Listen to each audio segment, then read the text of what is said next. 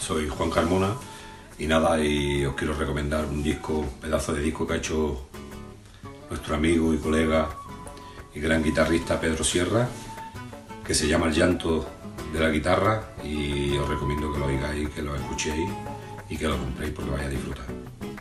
Un abrazo.